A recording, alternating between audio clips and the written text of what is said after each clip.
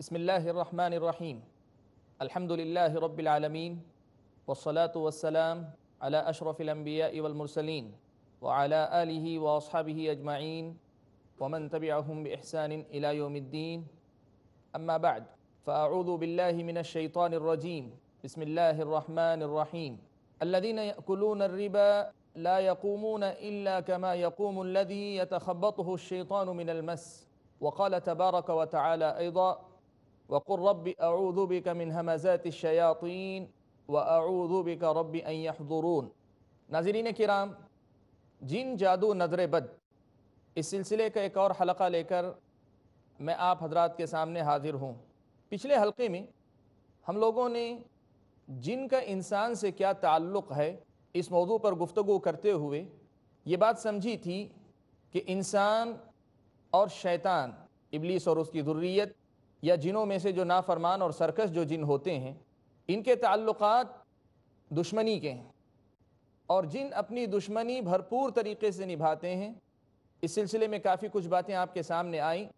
گزشتہ حلقے میں ہماری جو بات جاری تھی، وہ جن کے تکلیف دینے کا ایک طریقہ، انسان پر مسلط ہو جانا، انسان کے اندر داخل ہو جانا، انسان کے اندر جانے کے بعد یا تو اس کے جسم کے کسی حصے کو ناکارہ کر دینا، یا کسی حصے میں تکلیف پیدا کر دینا۔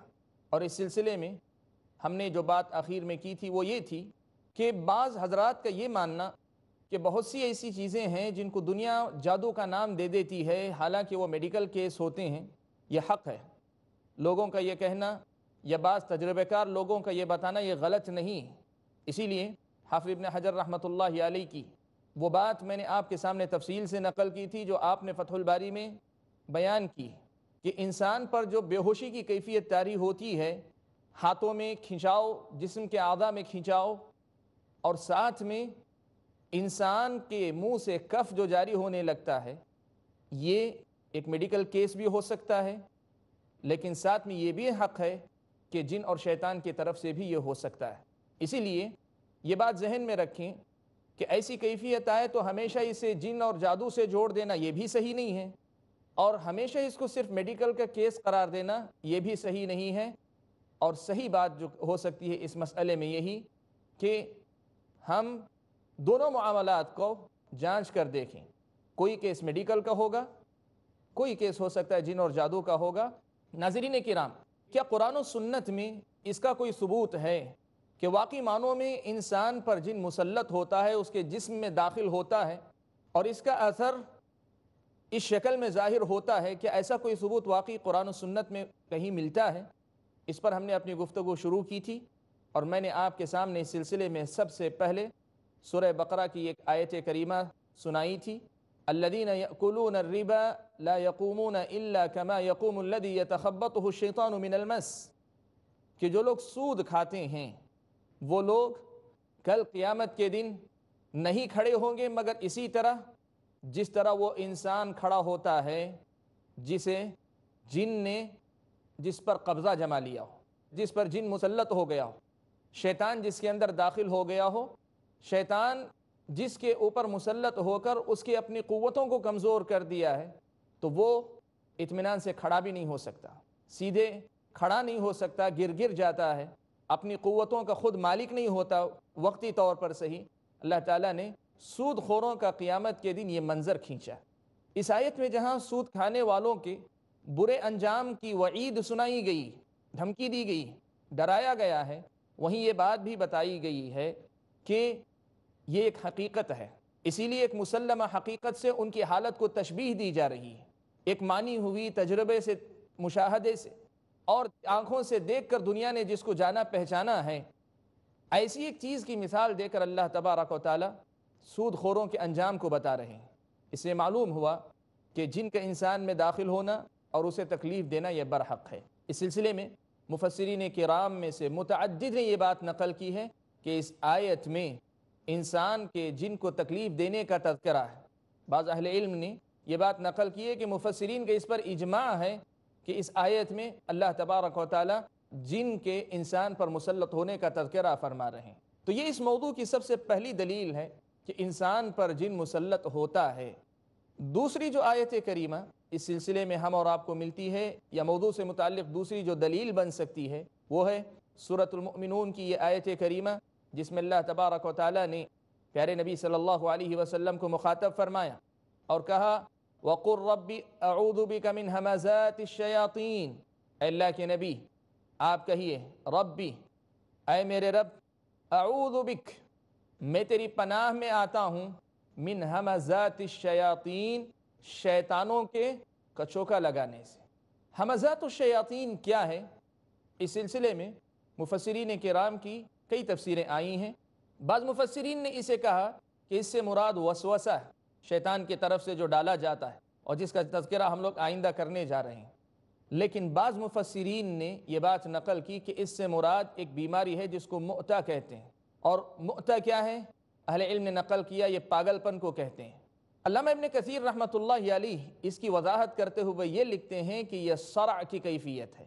یعنی آدمی پر جن مسلط ہو جائے اور اس کے نتیجے میں وہ حواس باختہ ہو جائے اور اس کے اپنے حواس جاتے رہیں جن مسلط ہو کر ایک طرح اس پر قبضہ جما لے، یہ اسی کیفیت کا نام۔ گویا اللہ تبارک و تعالیٰ نے اس قسم کی کیفیت سے پناہ مانگنے کا حکم دیا۔ اہل علم نے اس کی وضاحت کرتے ہوئے کہا کہ اس آیت میں اس بات کی دلیل ہے کہ یہ برحق ہے۔ ایسا ہونا برحق، جن کا انسان پر مسلط ہونا حق ہے۔ اسی لیے اللہ تبارک و تعالیٰ نے اس سے پناہ مانگنے کی بات کہی۔ اگر ایسا نہیں ہوتا تو اللہ تبارک و تعالیٰ خاص طور پہ حمزات الشیاطین کا لفظ نہ کہتے، من الشیاطین کہہ دینا کافی ہوتا۔ اللہ تعالیٰ بہتر جانتے ہیں کون سا لفظ کس لیے کہتے ہیں۔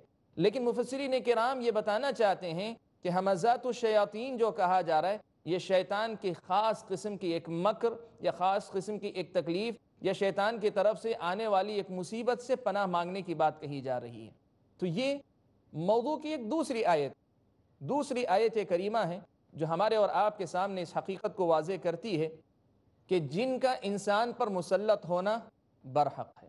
اس سلسلے میں نبی اکرم صلی اللہ علیہ وسلم کی احادیث سے بھی ہمیں بڑی رہنمائی ملتی ہے اور یقین مانیں اللہ تبارک و تعالیٰ کی کتاب بھی کتاب ہدایت ہے۔ نبی اکرم صلی اللہ علیہ وسلم کی حدیث نبوی بھی ہدایت کا سرچشمہ ہے۔ اور دونوں کے دونوں برابر برابر ساتھ چلتے ہیں۔ نبی اکرم صلی اللہ علیہ وسلم نے اسی حقیقت کو اور واضح الفاظ میں بیان فرمایا۔ صحیح بخاری و مسلم کی روایت ہے۔ متعدد صحابہ۔ کئی صحابہ نے اس روایت کو مختلف الفاظ کے ساتھ نقل فرمایا ہے۔ واقعہ یوں ہوا، حضرت صفیہ رضی اللہ تعالی عنہ، ام المؤمنین۔ پیارے نبی صلی اللہ علیہ وسلم سے ملنے کے لیے آئیں۔ اللہ کے نبی صلی اللہ علیہ وسلم مسجد میں معتکف تھے۔ ام المؤمنین آپ سے ملاقات کے لیے آئیں۔ رات کا وقت تھا۔ اللہ کے نبی صلی اللہ علیہ وسلم ان کو واپس گفتگو سے فارغ ہونے کے بعد رخصت کرنے کے لیے باہر نکلے جیسے اللہ کے نبی صلی اللہ علیہ وسلم باہر نکلے دو افراد کا وہاں سے گزر ہوا۔ دو آدمی وہاں سے گزرے۔ اللہ کے نبی صلی اللہ علیہ وسلم کو دیکھا، سلام کیا اور آگے نکل گئے۔ اللہ کے نبی صلی اللہ علیہ وسلم نے ان دونوں کو بلایا۔ کہا کہ آؤ۔ وہ دونوں جب نبی اکرم صلی اللہ علیہ وسلم کے پاس آئے، تو آپ صلی اللہ علیہ وسلم نے فرمایا کہ یہ صفیہ ہے۔ یہ صفیہ ہے۔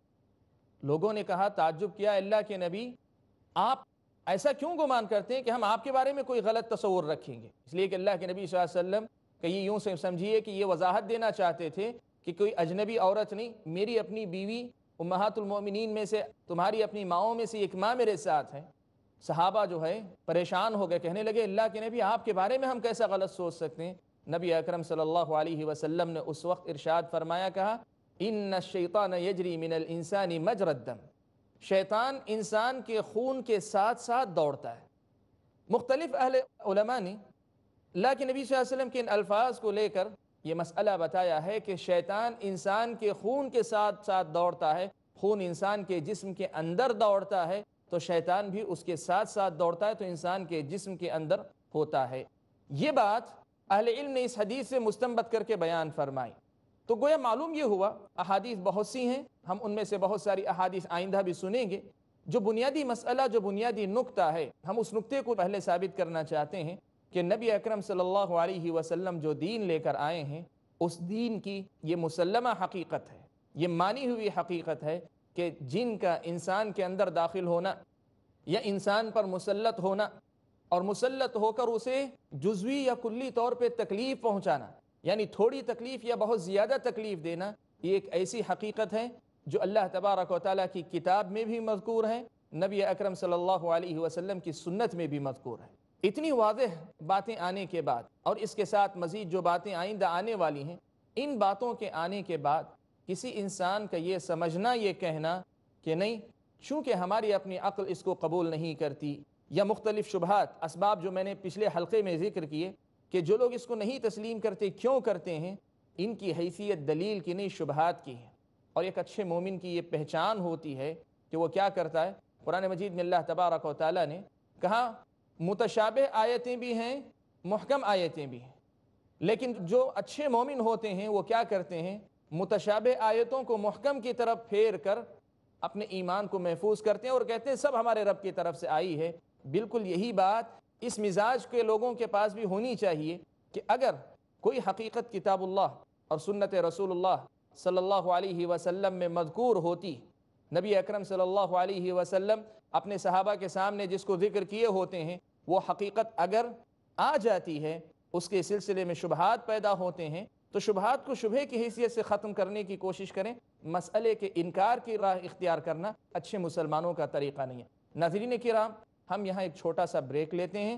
بریک کے بعد واپس لوٹیں گے اور دیکھیں گے کہ اس سلسلے میں نبی اکرم صلی اللہ علیہ وسلم سے اور کیا کیا باتیں ہم اور آپ کی ہدایت اور رہنمائی کے لیے ملتی ہیں۔ السلام علیکم ورحمۃ اللہ وبرکاتہ۔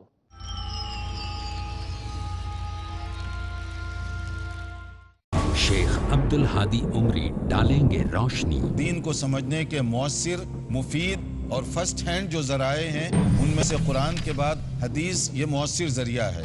باتیں اللہ کے رسول صلی اللہ علیہ وسلم کی۔ نبی کریم صلی اللہ علیہ وسلم نے صفائی پاکیزگی کا جو تصور پیش کیا آج پوری دنیا جو تصور پیش کر رہی اس سے بہت آگے کا تصور۔ کامیابی اور اصول کی۔ جب حدیث میں ایک چیز کلیئر ہو گئی فل اسٹاپ آپ کو کسی کی کوئی اوپینین کی اب ضرورت نہیں ہے کیونکہ نبی نے جو فرما دیا وہ حرف آخر۔ تاکہ ہر دور میں مسلمانوں کو ملے صحیح دین رب کے کرم سے۔ حدیث کہہ رہی ہے جائز ہے جائز ہے بس ختم۔ بس ختم آؤ حدیث سمجھیں۔ ہر پی بدھ اور جمعہ رات نو بجے اور دوبارہ صبح ساڑھے چھ بجے انڈیا میں۔ پیس ٹی وی اردو پر۔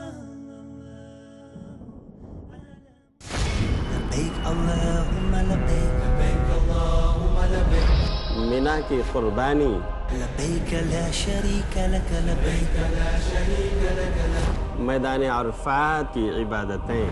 لبيك اللهم لبيك. خانه كعبة كتواف. إن الحمد والنعمة لك ادائیگی حج کی برکتیں ہیں بے حساب۔ اگر آپ ہیں صاحب صحت اور صاحب حیثیت تو فوراً کیجیے حج کی نیت دیکھیے فضائل حج آج شام ساڑھے چار بجے اور دوبارہ رات دو بجے انڈیا میں۔ پیس ٹی وی اردو پر۔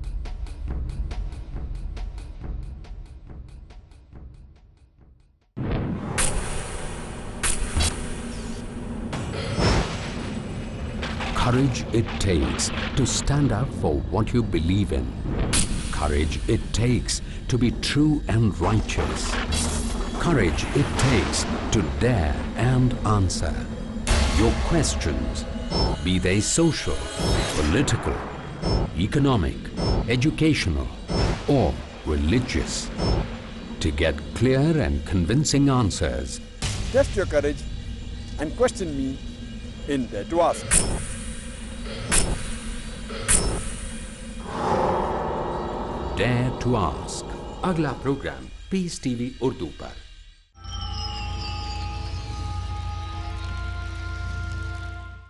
بسم اللہ الرحمن الرحیم۔ ناظرین کرام، حضرات و خواتین، بریک پر جانے سے پہلے ہم لوگ یہ مسئلہ سن کر گئے تھے کہ اللہ کے نبی صلی اللہ علیہ وسلم نے یہ بات بیان کی ہے کہ انسان کے اندر شیطان کا داخل ہونا برحق ہے۔ یہ بات ہم نے پہلے دلائل کی روشنی میں ذکر کی۔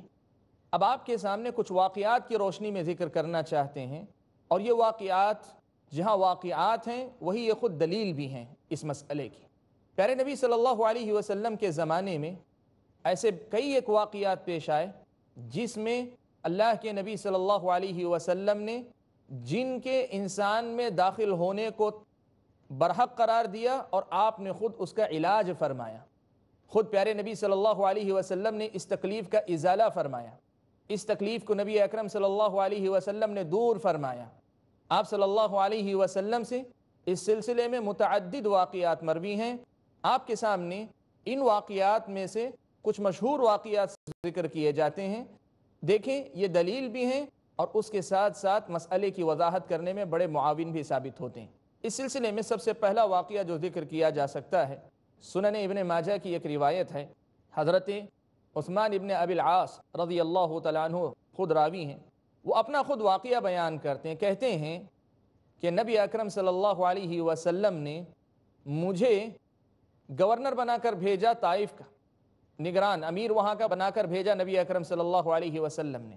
میں وہاں پہنچا اور اللہ کے نبی صلی اللہ علیہ وسلم کے زمانے میں یہ طریقہ تھا کہ اللہ کے نبی صلی اللہ علیہ وسلم کے جو گورنر ہوتے، جو امیر ہوتے، وہی مسلمانوں کی امامت بھی کیا کرتے تھے۔ کہتے ہیں کہ میں نماز پڑھاتا تھا تو اچانک مجھے جو ہے ایک ایسی کیفیت محسوس ہونے لگی کہ جیسے میرے اندر کوئی مجھے پڑھنے سے روک رہا ہے۔ میں جب نماز میں تلاوت کرتا تھا تو بڑی مشقت، بڑی تکلیف محسوس ہوتی تھی مجھے۔ قرآن کی تلاوت نماز میں کرنا چاہتا ہوں تو بڑی مشقت اور بڑی تکلیف محسوس ہوتی۔ کہتے ہیں کہ میں فوراً طائف سے نکلا اور نبی اکرم صلی اللہ علیہ وسلم کے پاس مدینہ پہنچا۔ اللہ کے نبی صلی اللہ علیہ وسلم نے مجھے دیکھا تو پوچھا، عثمان ابن ابی العاص؟ یعنی عثمان ابن ابی العاص آئے ہیں؟ اللہ کے نبی صلی اللہ علیہ وسلم سے میں نے کہا کہ ہاں اللہ کے نبی۔ پوچھا، کیا معاملہ ہے؟ میں نے اپنا معاملہ، اپنا ماجرہ سنایا اللہ کے نبی صلی اللہ علیہ وسلم کو کہ اللہ کے نبی، میں نماز جب پڑھاتا ہوں تو نماز پڑھانے کے دوران بڑی تکلیف محسوس کرتا ہوں، بڑی مشقت محسوس کرتا ہوں، کوئی جیسے لگتا ہے کوئی مجھے روک رہا ہے۔ اللہ کے نبی صلی اللہ علیہ وسلم نے کہا، ادنو، تم قریب آؤ، تم قریب آؤ، ذاک شیطان، وہ شیطان ہے۔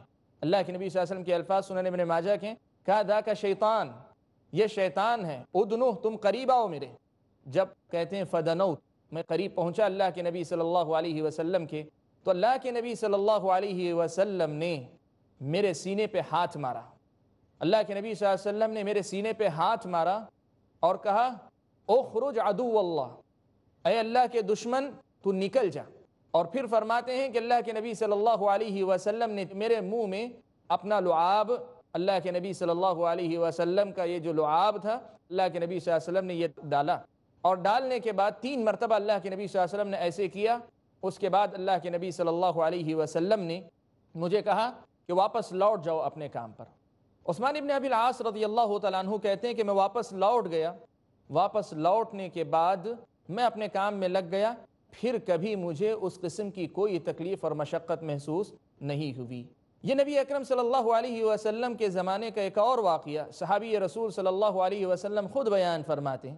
اس واقعے سے یہ بات واضح طور پہ سمجھ میں آتی ہے کہ جن انسان کے اندر داخل ہو کر تکلیف دیتا ہے اور تکلیف بھی کیسی صرف جسمانی تکلیف نہیں، قرآن کی تلاوت کرنا چاہتے ہیں اور نماز میں کرنا چاہتے ہیں، اس میں رکاوٹیں پیدا کر رہا ہے۔ اللہ کے نبی صلی اللہ علیہ وسلم نے اس کو تسلیم کیا، کہا، حق ہے دا کا شیطان، یہ شیطان تھا۔ اور اللہ کے نبی صلی اللہ علیہ وسلم نے یہ بھی کہا، اخرج، نکل جا، سینے پہ مارا ہاتھ، اور کہا، نکل جا۔ اس کا مطلب یہ ہوا کہ کوئی اندر ہے، اسی کو سینے پہ مار کے اللہ کے نبی صلی اللہ علیہ وسلم نکلنے کی بات کر رہے ہیں۔ اور وہ کون ہے عدو اللہ اللہ کے دشمن اور اللہ تبارک و تعالیٰ کے دشمن سے مراد شیطان ہے۔ اس لیے کہ اللہ کے نبی نے خود فرمایا تھا کہ شیطان، وہ شیطان ہے اور اسے نکلنے کے بعد اللہ کے نبی صلی اللہ علیہ وسلم نے کی اور اسی لیے اللہ کے نبی صلی اللہ علیہ وسلم نے اپنا لعاب بھی اس کے اندر داخل کیا۔ اللہ کے نبی صلی اللہ علیہ وسلم نے ان کے منہ میں اپنا لعاب بھی اسی لیے داخل کیا کہ اس کی برکت سے اللہ تبارک و تعالیٰ جو ہے شفا دے۔ اللہ تبارک و تعالیٰ ان اس کے ذریعے شفا دے۔ جیسا کہ ہم آئندہ بھی دیکھیں گے کہ علاج کا ایک طریقہ یہ بھی ہے، علاج کے طریقوں میں سے کہ پڑھنے والا جو آدمی رقیہ کرتا ہے، اس کے اپنے تھوک کے چھیٹے جو ہے، اگر اس پر مارے جائیں پانی ہونی پر یا بیمار پر، تو اس کا اثر ہوتا ہے۔ اور اللہ کے نبی صلی اللہ علیہ وسلم کا معاملہ یہ ہے کہ نبی اکرم صلی اللہ علیہ وسلم کا لعاب خود بھی اللہ تبارک و تعالیٰ کے حکم سے یہ برکت کا معاملہ اس کے اندر تھا۔ تو ناظرین کرام، یہ نبی اکرم صلی اللہ علیہ وسلم کی زندگی کا واقعہ ہے۔ جو ہمارے اور آپ کے سامنے اس حقیقت کو واضح کرتا ہے۔ کتب حدیث میں اس سلسلے کے اور بہت سارے واقعات مذکور ہیں۔ اس سلسلے میں حضرت یعلا ابن مرہ رضی اللہ تعالیٰ عنہ روایت فرماتے ہیں ایک اور واقعے۔ فرماتے ہیں کہ ہم رسول اکرم صلی اللہ علیہ وسلم کے ساتھ ایک سفر میں تھے۔ تو سفر کے دوران ایک خاتون ہمارے پاس آئی۔ اپنے بیٹے کو لے کر آئی اور آ کر اس نے کہا کہ یہ جو میرا بچہ ہے یہ بچہ مسلسل تکلیف میں ہے اور جو کچھ ہم سے ہو سکتا ہے کر رہے ہیں، لیکن اس کی حالت سنبھل نہیں رہی ہے۔ اس کی حالت سنبھل نہیں رہی ہے۔ اللہ کے نبی سے مخاطب ہو کر کہا کہ آپ اس کا کچھ کر دیجیے۔ نبی اکرم صلی اللہ علیہ وسلم نے اس بچے کے ساتھ بھی یہی معاملہ کیا۔ اللہ کے نبی صلی اللہ علیہ وسلم نے اس بچے کے سینے پہ ہاتھ مارا اور کہا او خروج عدو اللہ اے اللہ کے دشمن، نکل جا۔ انا رسول اللہ، میں اللہ کا رسول تجھے حکم دے رہا ہوں۔ میں اللہ کا رسول تجھے حکم دے رہا ہوں، تو نکل باہر ہو جا۔ جب اللہ کے نبی صلی اللہ علیہ وسلم نے ایسے کہا اور اس کے بعد اس خاتون سے کہا کہ جاؤ، جب ہم سفر سے واپس لوٹیں گے اسی راستے سے تو تم واپس آنا۔ یہ دوران سفر ایک قبیلے کے پاس سے گزرتے ہوئے واقعہ پیش آیا تھا۔ کہتے ہیں حضرت یعلا ابن مرہ رضی اللہ تعالیٰ عنہ کہ نبی اکرم صلی اللہ علیہ وسلم سفر سے واپس لوٹ رہے تھے تو وہ خاتون اپنے بچے کو لے کر آئی اور آ کر اس نے کہا کہ جب سے آپ گئے اس دن کے بعد سے پھر کبھی اس بچے کو کوئی تکلیف نہیں ہوئی۔ وہ تکلیف دوبارہ نہیں لوٹ کر آئی بچہ شفا یاب ہو گیا اور اس کے بدلے میں اس خاتون نے دو بکریاں اور بعض روایتوں میں زیادہ بکریوں کا بھی تذکرہ ملتا ہے۔ اللہ کے نبی صلی اللہ علیہ وسلم کے سامنے بطور ہدیہ، اجرت کے طور پہ نہیں، خوش ہو کر خوشی میں ہدیے کے طور پر اس نے یہاں پیش کیا۔ اور ساتھ میں پنیر اللہ کے رسول صلی اللہ علیہ وسلم کے لیے اور اس کے ساتھ گھی، تین چیزیں اللہ کے نبی صلی اللہ علیہ وسلم کے سامنے پیش کی۔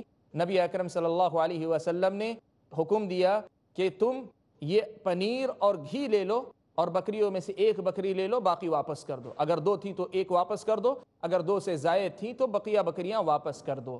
اس طرح نبی اکرم صلی اللہ علیہ وسلم نے اس معاملے کو انجام دیا۔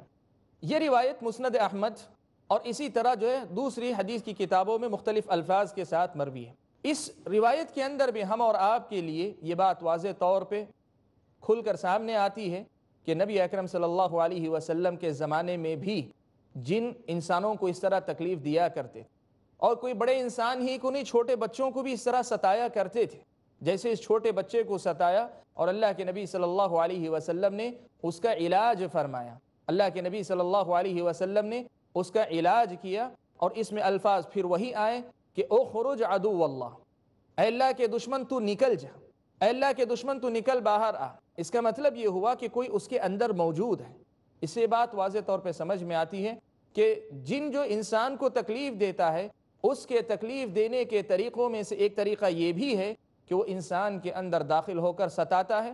اور ساتھ میں یہ بات بھی ان ساری احادیثوں سے سمجھ میں آتی ہے کہ اللہ کے نبی صلی اللہ علیہ وسلم نے جس طریقے سے ان کا علاج فرمایا اگر اسی طریقے سے علاج کیا جائے، تو ان بیماریوں کا علاج ہو سکتا ہے۔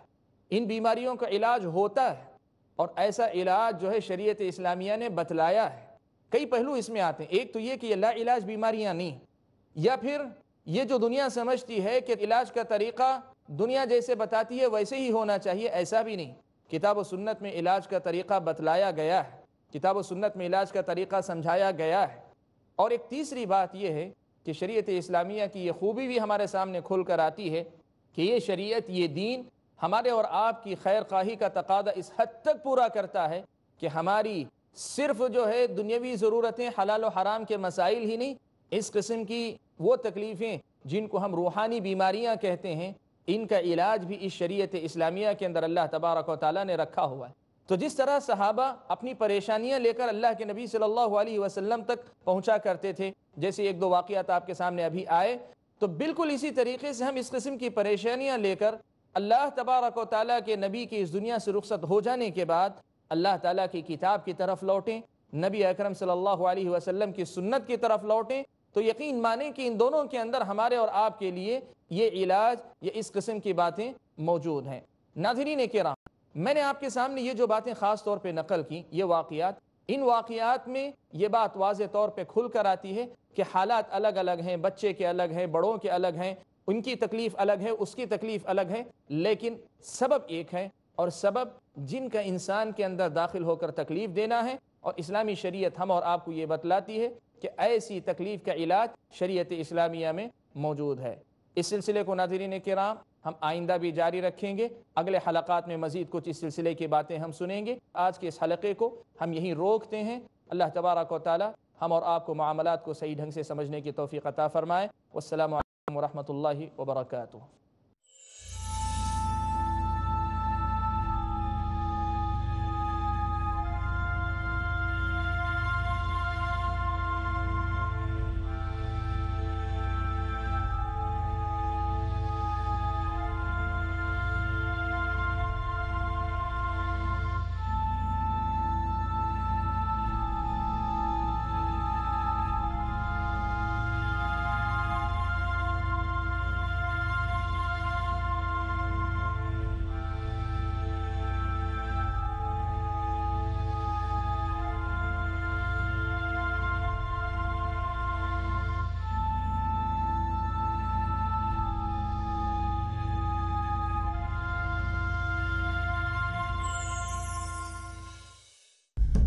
اللہ تعالیٰ زمانے کی قسم کھا کر کہتا ہے کہ سارے انسان خسارے میں ہیں۔ سوائے ان کے جو ایمان لائے اور نیک عمل کیے۔ دنیا و آخرت میں خسارے سے بچنے کے لیے دیکھیے ہمارا پروگرام فضائل اعمال۔ شیخ ثناء اللہ مدنی پیش کریں گے۔ فضائل اعمال۔ آج شام چار بجے اور دوبارہ رات ڈیڑھ بجے انڈیا میں۔ پیس ٹی وی اردو پر۔